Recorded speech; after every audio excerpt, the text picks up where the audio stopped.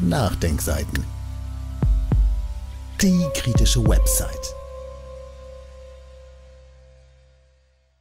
Griff nach der Jugend. Friedrich Merz will Grundgesetzänderung für allgemeine Dienstpflicht. Ein Kommentar von Markus Klöckner. Junge Frauen an die Front? Friedrich Merz schwebt eine Änderung des Grundgesetzes vor, wie er beim Gespräch mit Karin Mioska sagte. Das ist weitreichend. Der Kanzlerkandidat der CDU spricht offen davon, eine sogenannte Dienstpflicht für alle jungen Menschen einzuführen. Und der sogenannte Qualitätsjournalismus? Dem ist die Aussage von Merz egal.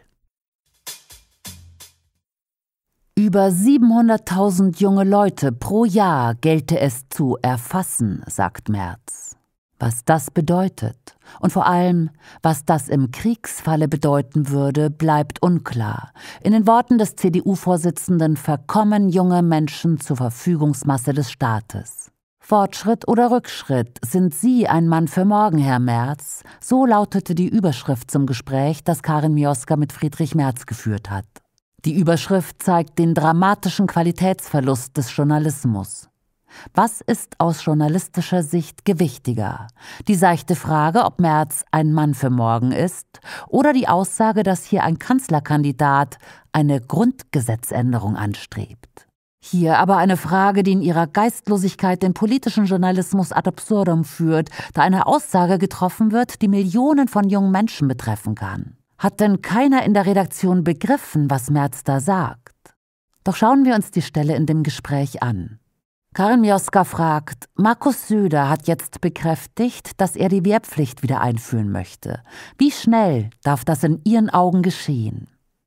Die Frage an sich ist schon eine Bankrotterklärung für einen kritischen Journalismus. Die dringend zu hinterfragenden Grundprämissen, auf die die Debatte um die Einführung einer Wehrpflicht gestellt wird, sind hier aus dem Weg geräumt. Wie kann es sein, dass ein Herr Söder überhaupt die Wehrpflicht einführen möchte? Was ist die Begründung? Die Grundannahme, dass Russland die NATO angreifen will? Das kann doch niemand ernsthaft glauben.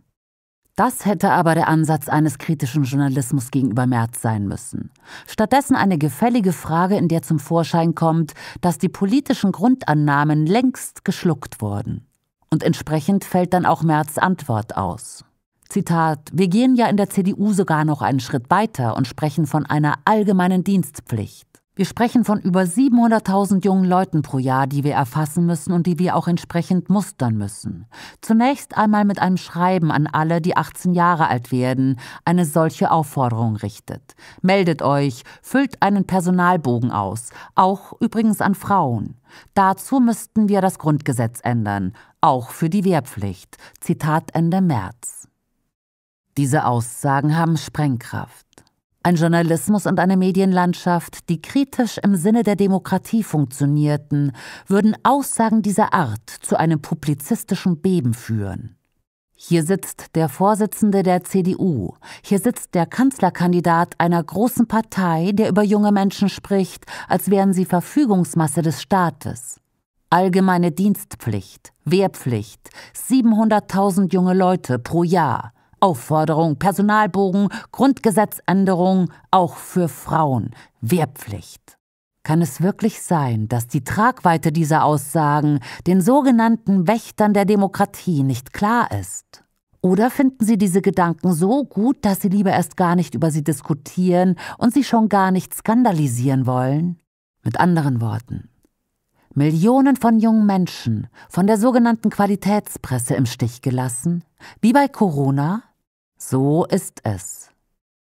Hätte der Journalismus in Anbetracht der Tatsache, dass Politiker Deutschland kriegstüchtig machen wollen, vielleicht die Güte, ein, zwei, drei Punkte miteinander zu verknüpfen und die eine oder andere kritische Frage zu stellen? Zum Beispiel, was bedeutet eine allgemeine Dienst- und oder Wehrpflicht für die jungen Menschen im Falle eines Krieges?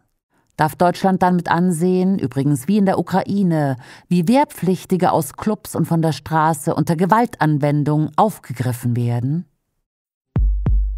Quellenangaben und weiterführende Verlinkungen finden Sie auf www.nachdenkseiten.de oder im Beschreibungstext unter dem YouTube-Podcast.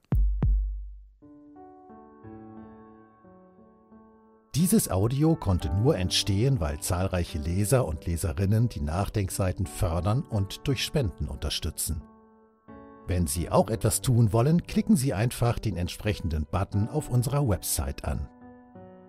Übrigens, Sie können uns auch bei iTunes, SoundCloud und YouTube hören und wenn Sie mögen, gerne unseren Kanal abonnieren und eine positive Bewertung für uns abgeben. Wir freuen uns über Ihre Unterstützung und die Weiterverbreitung unserer Inhalte.